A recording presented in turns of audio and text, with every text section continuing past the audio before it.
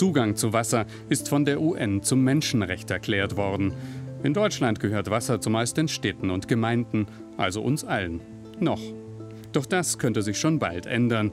Die EU-Kommission holt jetzt zum großen Schlag aus.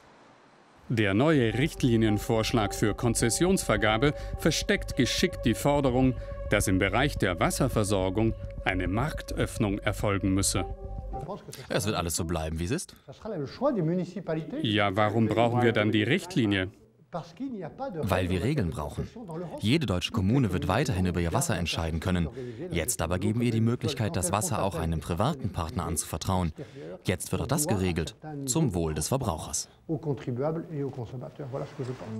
Für private Investoren ist Wasser ein Gut wie Strom oder Gold.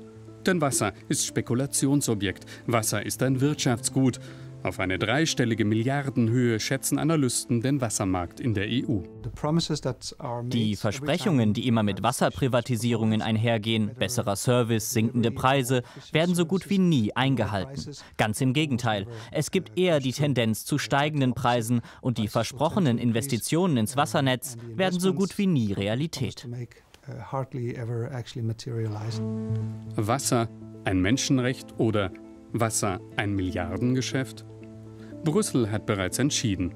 Wasser soll in Zukunft mehr den Konzernen gehören und weniger uns allen.